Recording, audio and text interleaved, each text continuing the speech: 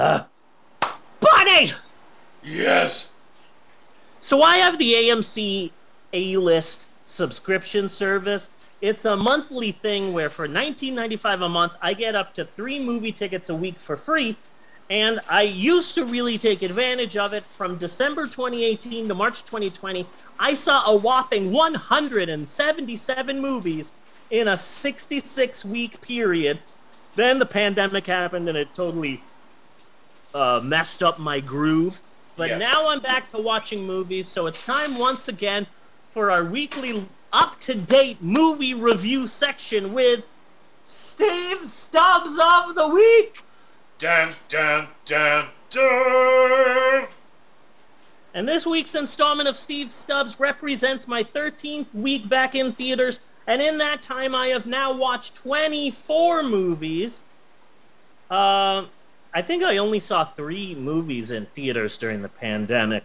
A lot at the drive-ins. This weekend at the drive-in, they were showing at the drive-in uh, in Oklahoma City. They were showing It Chapter One and Harry Potter and the Chamber of Secrets, which I thought was a really weird double feature. Yeah. But apparently, they're going to be showing uh, more spookier movies and less family-friendly stuff for the month of October. So I'm really excited. Last year, my wife and I went out and saw the first Nightmare on Elm Street and Friday the 13th in a double feature, and it was fucking amazing. And I hope Yeah. they do something like that again. Oh, also, also this weekend at the drive-in, while they were showing it, they had a guy dressed as Pennywise going through the cars scaring people. Yeah. And I thought that was really fucking cool. You know? I think that's really fucking dangerous in Oklahoma. Oh, oh yeah, hell yeah. I'm surprised no one got shot, but I still I think it's cool. But that's because I don't own any uh, firearms. Yes. So this week I saw the following two movies in theaters: Shang-Chi and the Legend of the Ten Rings for the second time, and the new musical Dear Evan Hansen, which has m- one of my favorite songs of all time, which I'd like to sing to you now. It's the title track. Dear Evan Hansen, what's it like in New York City? I'm a half a mile away, but girl, tonight you look so pretty. Yes, you do. I don't remember who sings that, but it's not from the Dear Evan Hansen musical. But I find that joke to be hilarious, and I think it's because it's a dad joke.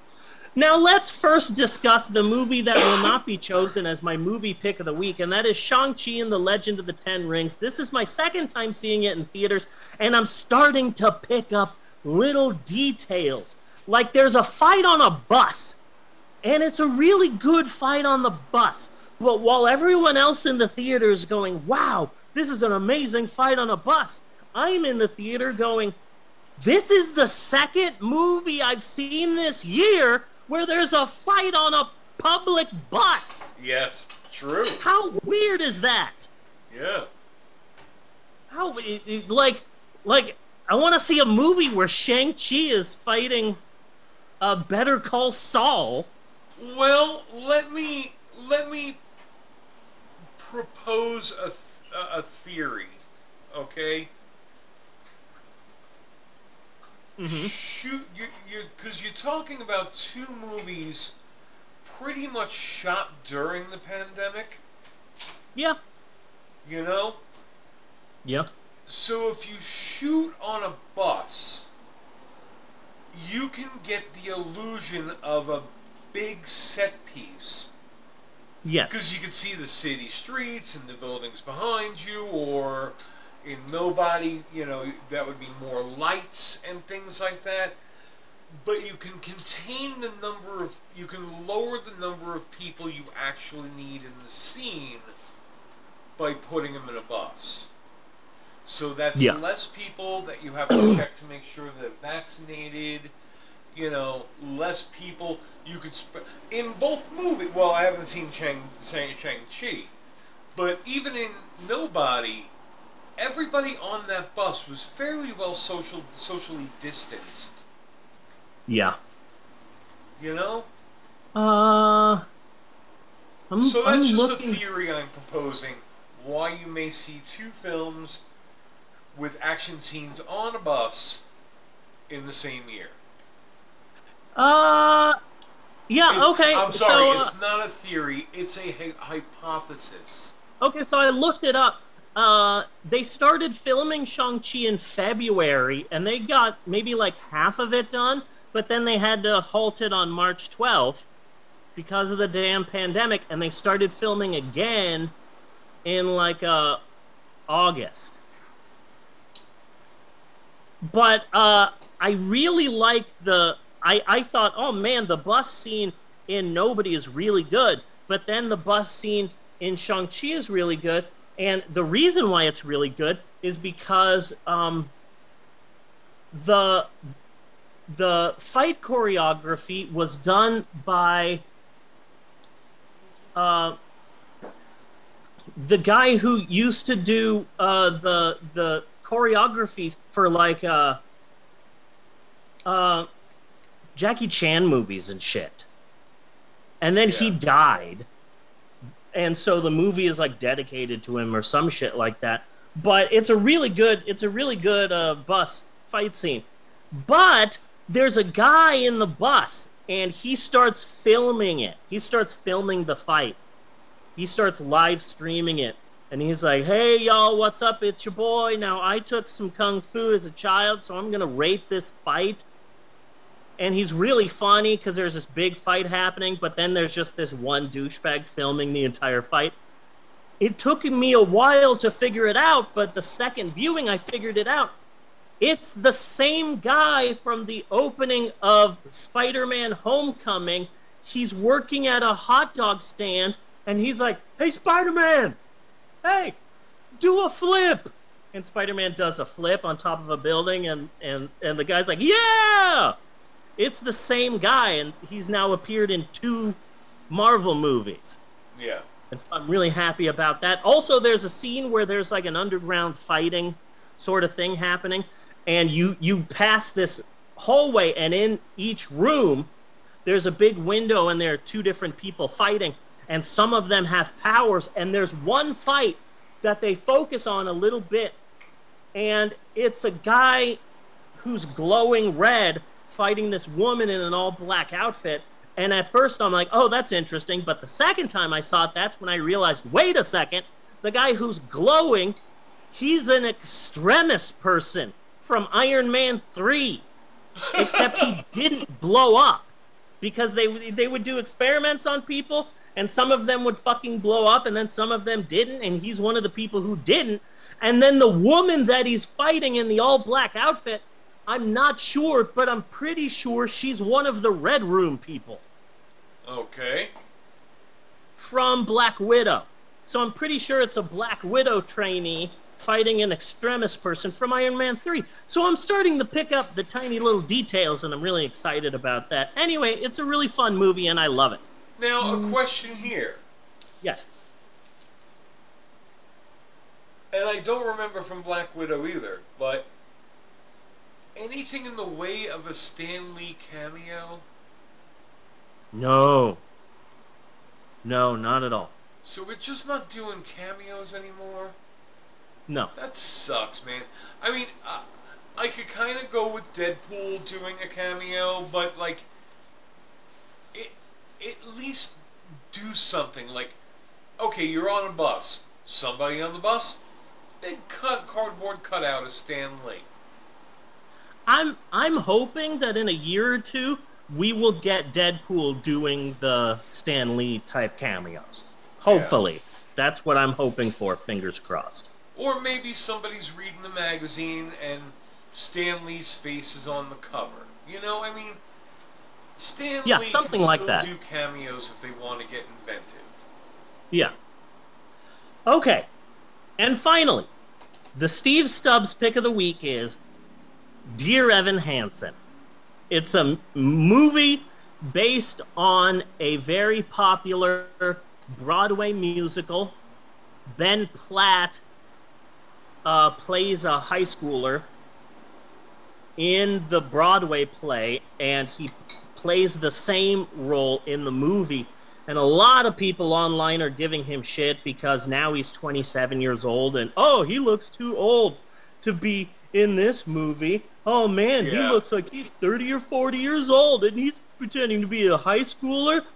This is the silliest thing in the world, and we're all gonna make fun of it because never in the history of movies has there ever been an older person playing a high schooler. Yeah. Did you ever see fucking Tobey Maguire's Spider Man? Fucking Kirsten Dunst is dating a 45 year old high school fucking senior. but whatever. So, um, I'm gonna talk a little. I'm Any gonna talk. fucking horror movie, all right? Yeah, yeah. Any Yeah. of them. This happens all the fucking time. so I Friday don't know the why 13th, everyone is. 1 through 10. Yeah, I don't know why everyone is focusing on this specific movie and this specific person, but like he does a good job, of course, because he did this forever on Broadway, and this is his part and his baby, and he does a really good job, and the movie's all right. But that's not what I want See, to talk but, about. but I, I totally get your point because, like, I've heard of this. I've heard of this guy being in this in this Hansen movie, and he's too old for the part, and there's absolutely no fucking reason for me to have heard about it. it's so many people are just like punching down right now about Dear Evan Hansen, and it's like, okay, we can make fun of Cats because Cats is a shitty movie. Dear Evan Hansen is all right. They've cut out a lot from the musical, a lot of musical numbers, and uh, it, I find that the character of Evan Hansen and the things that he does in this musical are really shitty, and he's an asshole. And I think that if you're seeing the play and you're there in person and you're watching it and you're then you're excited to see a musical and to see it in person and especially on Broadway there's an excitement. And so when you see the play it's a spectacle and you love it. But when you're watching a movie there's less of a spectacle and you're focusing more on characters and motivation. And that's when you realize when you're watching the movie as opposed to seeing the play when you're watching the movie you have time enough to say wow this character is a piece of shit and all of the things that he does are fucking horrible. It's like watching Tobey Maguire's first Spider-Man movie now, and you go, okay, this fucking asshole is stalking Mary Jane. Yeah. So yeah, Evan Hansen's a fucking creep, but he does a good job in the movie, and I just don't understand why everyone's picking on this one guy. He he he doesn't look that bad in the movie, but I can look past that because I've- all of my pictures. life, all of my life, I have been seeing like 25 to 30 year old people on fucking 90210 and shit, you know? Yeah. Yeah. And, and let's face another fucking fact, okay? Yeah. Most actors who would actually be age appropriate to the to the role are methed out of their fucking heads. Absolutely. Absolutely. So I so so yeah. I don't mean, know why people literally who acts in that age bracket? I don't know. What breakaway not know. stars have there been in that age bracket? It's No a idea. fucked up time in life to be a human, and you're really not fit for the movie industry at that moment. Yeah. We'll get back to you. That's why a lot of the kid stars go off to college during those years. Yeah, they get hopped up on goofballs Yeah. too. But I it, that's all I want to talk about Dear Evan Hansen. I want to talk about my experience going to see Dear Evan Hansen because I, because I had one of the worst movie going experiences of my life. Okay. So I normally don't go a, go see a movie on opening night Right. because there's still a freaking pandemic happening and I don't want to be in a theater with a bunch of people. So I go and see movies on Mondays and Thursdays. On Mondays, there's fucking no one in the theater and I can just go and most of the time I'll be by myself and it'll be a blast and if there's anyone else, there's only going to be two or four other people and we're all socially distanced and it's fine. And then I go to the movies on Thursday, but I hardly ever see the opening the opening night movie. Instead, what I do is I go and see a movie. Uh, uh, uh, uh, I'll go and see a. I'll go and see a movie that's been out for a while. Where are you guys going? Apparently, I have to go get them because Aunt never Why? has deer and won't drive in the plow. Why are you guys driving to go get Emerald? so I can shoot the lasers. Oh, okay. Dude, ask ask another person. I would appreciate if you asked someone else. Thank you. Uh, so so I usually don't go to the opening night for movies, which is Thursday. But I decided I really wanted to see the new Evan Hansen movie, so I went on opening night. Um, I got there five minutes before the previews started, and I had heard some bad reviews. I want one of the reasons why I wanted wanted to see it on opening night is because it was getting impossible to ignore reviews. Okay. Trying to ignore reviews of Dear Evan Hansen before the movie came out came out felt like Neo on the roof dodging the bullets okay. that they were just all coming at me, and I was just like, whoa, trying to dodge all of these bad reviews. So it's like, sh- I got to get this over with now. But by the time I got to the movies, it's like, oh, well, I have been hearing some bad things. So I decided to sit in my This Movie May Be Bad seat, which is back row middle.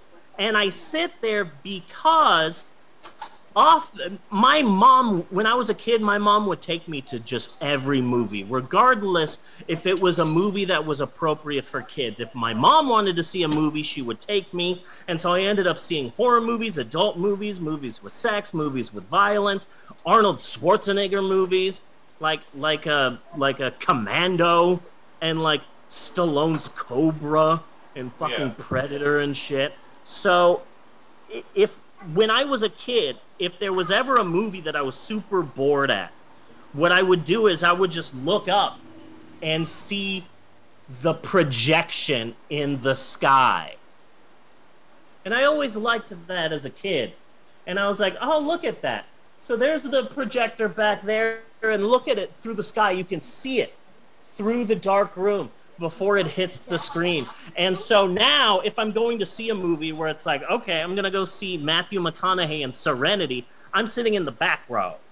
yes. So that if it's bored, I can just look up and see the projection. And also, if it's a really bad film and I start like gesturing like like uh, I'm watching a bad movie and I'm I, I'm moving my hands like what what what the fuck is this? Oh my god, face Yeah. palm. So I sit in the back right before the opening credits start for Dear Evan Hansen. Eight high schoolers come in okay. four boys and four girls, and they head straight to the back row. Then they see me, and for whatever reason, they decide to split up. Four of them sit on one side of me, a few seats to the left, and four more sit a few seats away from me on the right. So I'm surrounded by high schoolers on both sides. And they're seniors in high school.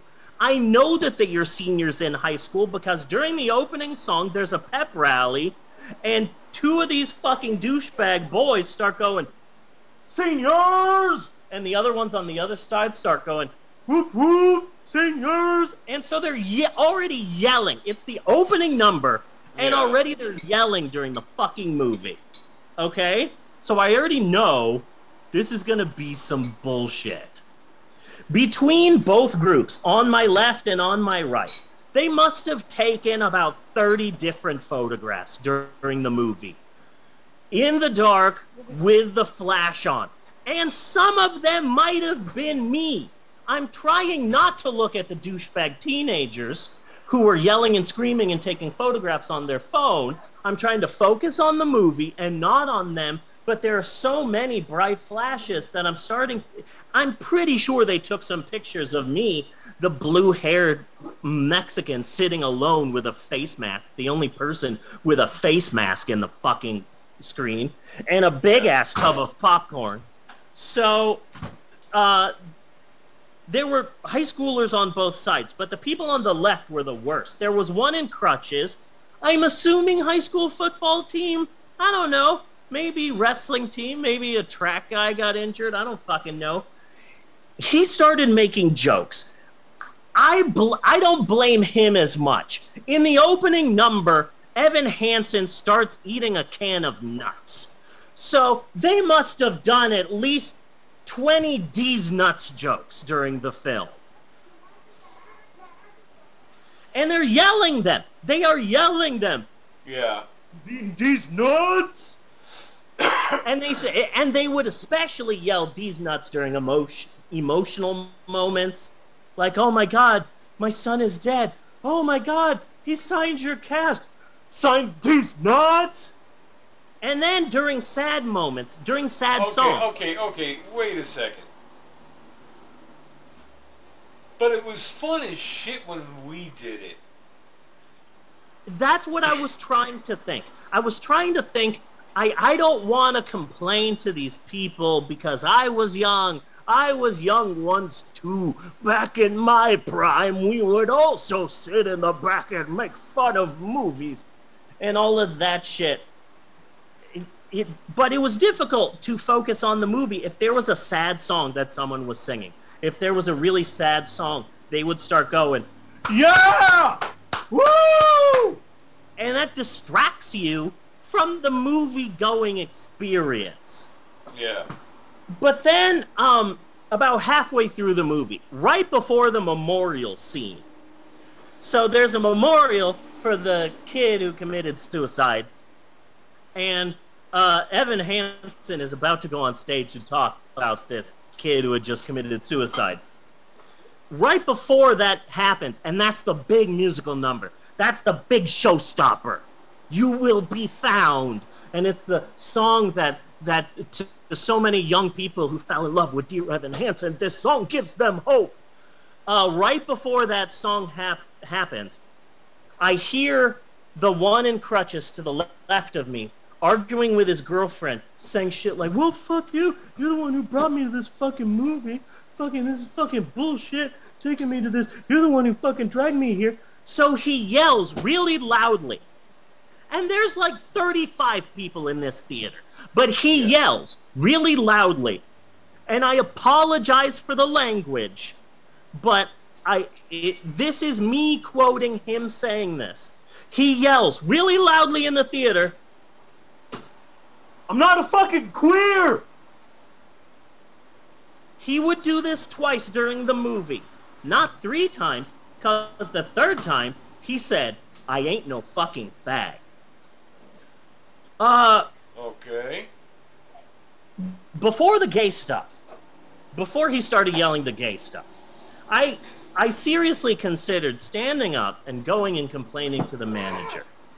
But uh, when I was in high school, I went to go see the movie The Pallbearer in theaters with fucking Yeah. David Schwimmer, and uh, there were these four high school, uh, young, very young high school girls who were at the theater, and they were only there because David Schwimmer was on Friends, and they were being really loud and yelling and throwing stuff in the theater. So I went and complained to the manager, and then the manager went and talked to them because apparently one of the girls was the little sister of the manager, and the manager came not to stop them, but to point out that I was the one who complained. So the girls moved seats so that they were right behind me and started shaking the seat with their foot and throwing shit directly at me. It was the one and only time that I have ever walked out of a movie ever, and it was because there was five pounds of fucking popcorn thrown at me. Okay. So I'm already gun shy about going to the manager at a theater about fucking anything, but I'm seriously considering going to the And, and, and there is a gang of them. yeah, there's eight of them. There are eight of them. Yeah. And so I was seriously considering. And they're all hopped up on goofballs, like at- you had yeah, said. as as all young people are. Yeah. yeah. But once so they got that the super real strength. Yeah. But once the really angrily homophobic stuff started getting yelled at, that's when I realized I am a Mexican with blue hair, painted nails, a purse around my shoulder.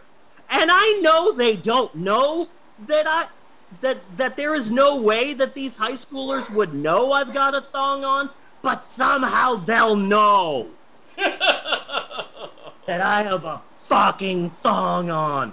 So suddenly I'm scared to go and tell them, tell the manager, because I will have to pass one of the gaggle of teens who were yelling violent homophobic shit. Yeah. And I swear, one of the times they yelled that, they were looking at me because it was louder, and I think because they were focused out of me. So it got to the point where even during the movie, when I needed to pee, I dared not leave my seat out of fear. And then I started getting pissed off because uh, what got me was this guy is y- literally yelling offensive homophobic slurs during the movie.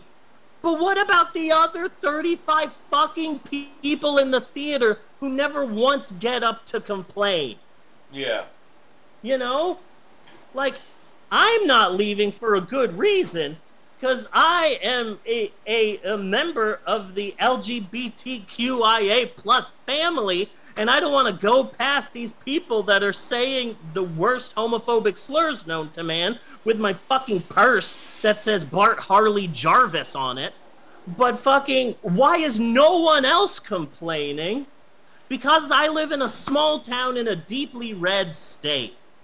But he, but uh, um, near the end of the film, when a uh, certain person finally came clean in the movie, the girls left. I don't know if the girls had enough of the boys' shit, but I'd like to think that they did Yeah. and they ditched the boys. So the two on the left crossed me to get to the two on the right so that they could all sit as a group. And one of them uh, uh, brushed past my leg and said, fucking watch it to me.